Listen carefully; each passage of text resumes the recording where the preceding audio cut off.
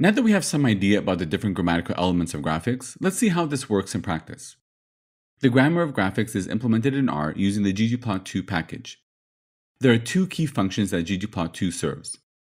First, we construct plots by layering grammatical elements on top of each other.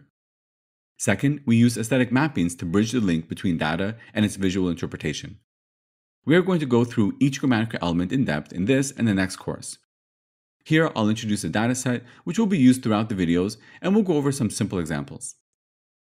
The bottom layer is the data element. Obviously, we need some data to plot.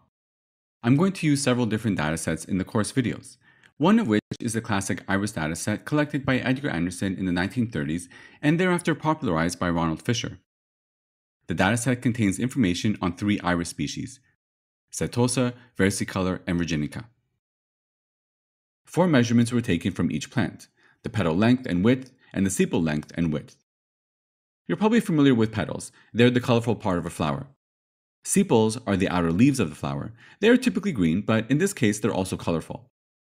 There are 50 specimens in each species. The data is stored in an object called iris.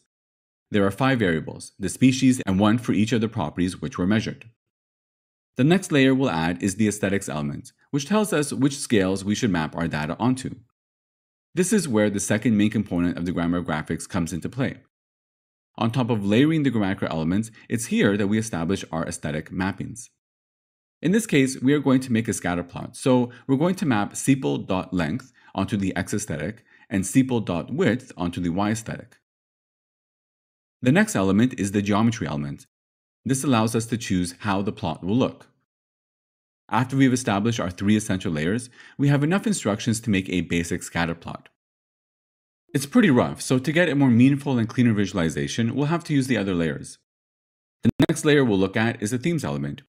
It controls all the non-data ink on our plot, which allows us to get a nice looking, meaningful, and publication quality plot directly in R. We'll discuss the remaining grammatical elements in the next course. For now, let's begin by exploring these concepts